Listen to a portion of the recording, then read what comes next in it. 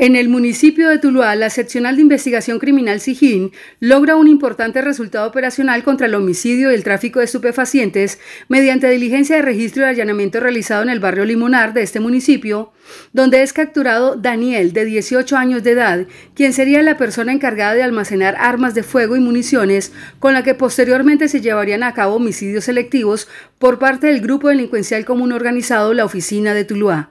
Durante la diligencia de allanamiento se incautaron los siguientes elementos.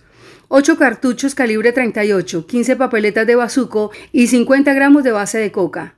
Esta persona es dejada a disposición de la Fiscalía de Tuluá y en audiencia un juez le da medida de aseguramiento en centro carcelario.